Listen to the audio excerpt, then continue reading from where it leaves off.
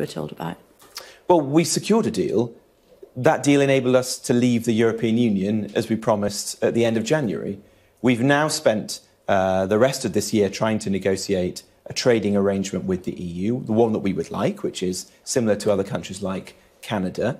We haven't been able to do that thus far. The EU have not shown the flexibility that we would wish them to have shown. So, uh, unless something changes, unless they're willing to come back to us and show that degree of flexibility and maturity, we'll leave at the end of the year, the transition period, and trade on the sorts of arrangements that Australia has uh, and a number of other countries around the world. That's not our preference, but it's an acceptable trading relationship, and I think it's important that we move forward because business needs certainty.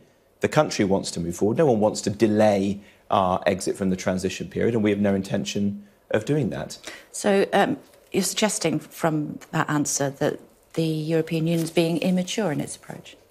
Well, I think they need to show. Childish, perhaps? They need to show a degree of flexibility. We have been disappointed by their approach to date.